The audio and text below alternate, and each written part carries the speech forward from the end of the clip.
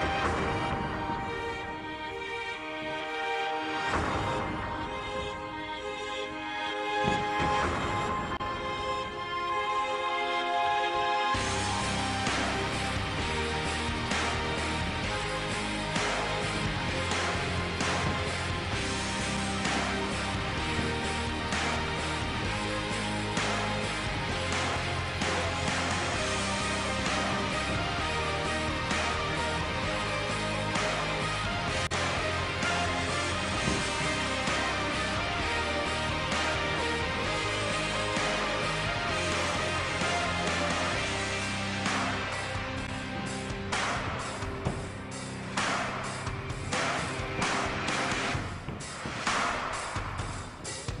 I'm training hard, I'm confident, I believe in myself. I said I'm going to win these belts from the start, and that's exactly what I'm going to do.